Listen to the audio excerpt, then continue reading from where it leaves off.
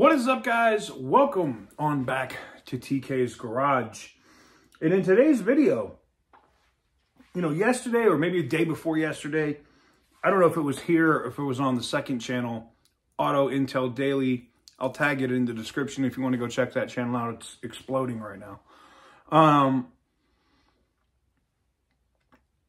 I talked about Ford being one of the first companies changing their DEF tunes or tunes for vehicles when they come in so that they don't immediately shut down or cause a hazard uh, to people's safety because a truck goes down to 2% power or whatever the BS it is because it knows there's no DEF in the system.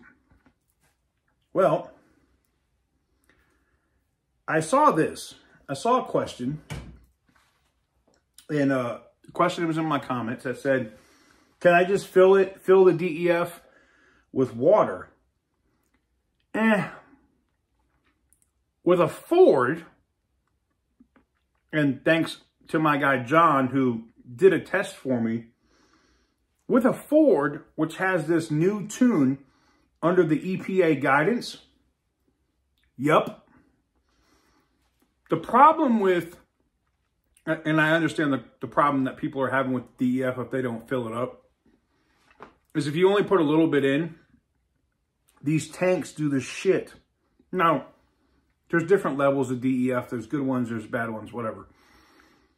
But when you leave a lot of space and stuff in there, it crystallizes. And it destroys the system, basically, unless you keep it full, which is stupid, but I digress on GMs currently, because they're not doing this new EPA guidance, and on Rams, they have a sensor that I guess looks for the quality of the DEF at like between 32 and a half to 35.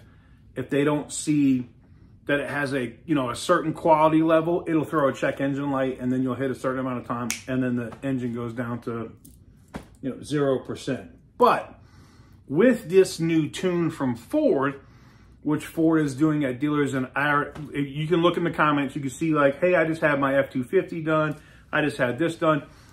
They're, and I've also seen the other comments, oh, see, they're not going to get rid of DEF. They're just doing this shit.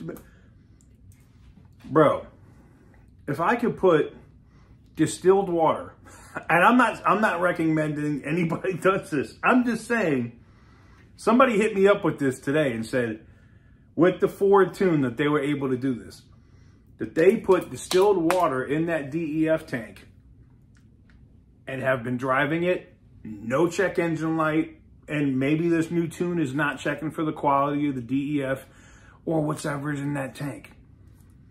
Is it going to crystallize or screw up if it's just water in there? I don't know.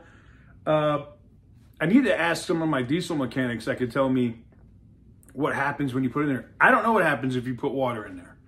I know it's basically piss that they pour in there now with DEF, right? Um, but, mm, mm, mm, mm. But, um, I wonder what we're going to see General Motors and Ram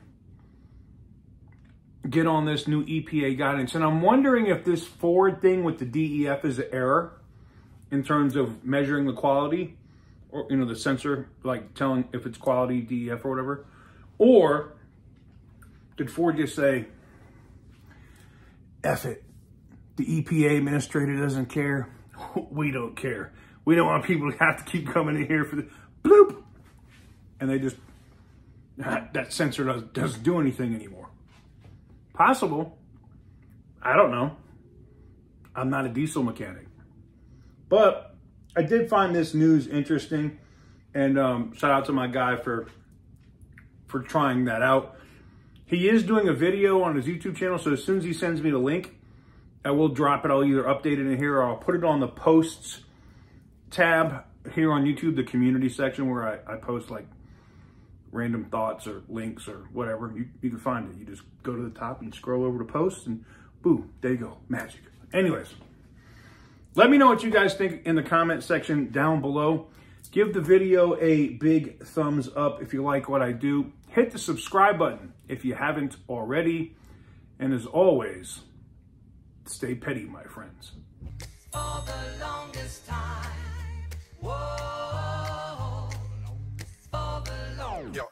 Percocet, Miley Percocet, Percocet, Miley